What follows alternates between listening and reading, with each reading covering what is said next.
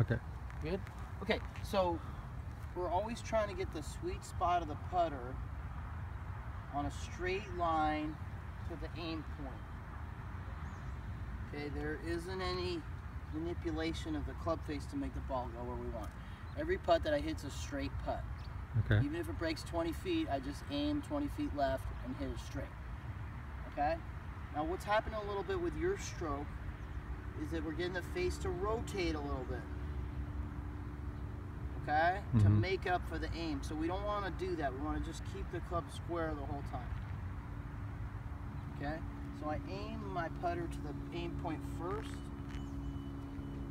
Okay? And then I just hit it straight from there.